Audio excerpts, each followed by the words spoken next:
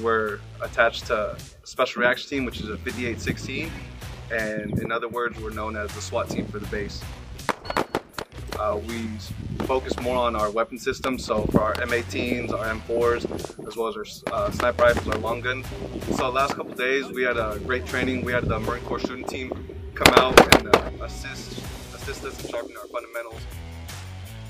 It's important that we're out here, uh, the Marine Corps shooting team, mobile training team, uh, because the instructors on the Marine Corps shooting team have a wide variety of knowledge when it comes to marksmanship.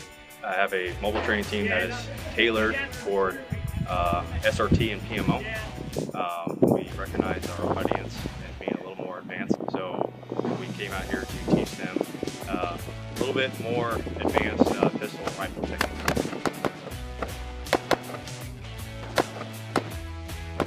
So we're not only focusing on being able to get that accurate shot in, we're also getting assisted in picking up that speed. The shooting team coming in and assisting us, we've been able to get our draw down to 0.5 seconds and within shooting another shot within that 0.3 range. So in under a second, we're able to draw our pistol and shoot a shot to not only save our lives, but save civilians' lives. So that's the beneficial of having the Marine Corps shooting team coming out here and assisting us.